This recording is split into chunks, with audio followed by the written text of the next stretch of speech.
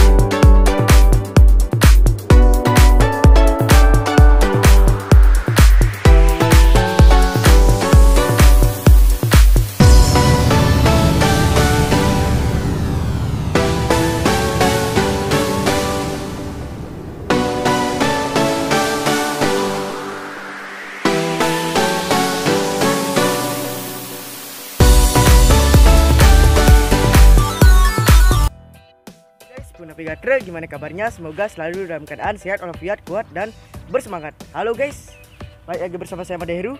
Oke di sini saya akan ya tambak tradisional udang panami pakai Suzuki TS 125 guys ya. Oke guys, ikutin terus guys ya. Jangan lupa klik subscribe di bawah dan share video saya ini. Oke, jangan lupa like juga guys. Let's go.